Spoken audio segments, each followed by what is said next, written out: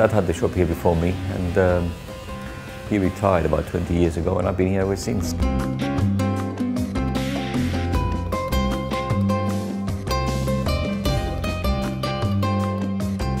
As you can see, you know, it's a very old shop. It's, been here for 100 years. The, we still have a lot of the original features, like the hot towel machine, see in the corner there, which you use for um, hot towels when we do the traditional shaves. We used to put the towel in here, close this, use, hot towel would, would warm up, and after a few minutes you take the hot towel, put it on the customer's face, close this, and then fill up your bowl with hot water and do your shave. They're American chairs and they've been, they've been in this shop since uh, 1950. Very rare to find because they're porcelain, very heavy, heavy duty chairs. This is how we do the shaves. These chairs have a special uh, place in here, right in the middle, where we can attach this headrest.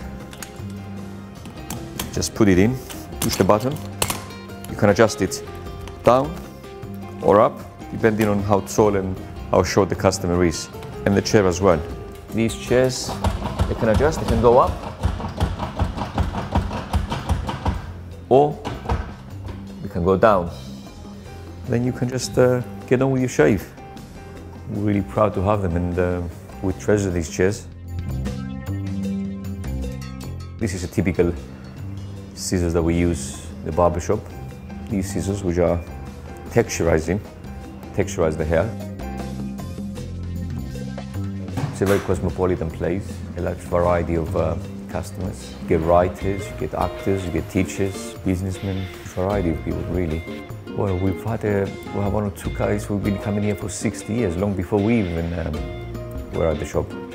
Our youngest customer, I would say, a year old.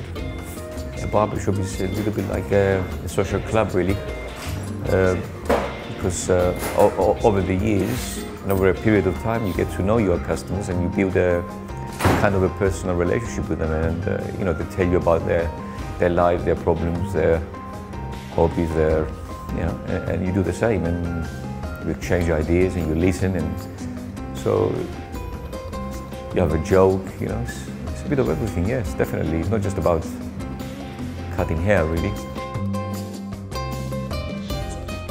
Yeah, we have four barbers, with two from Kosovo and uh, one from Syria and one from Italy.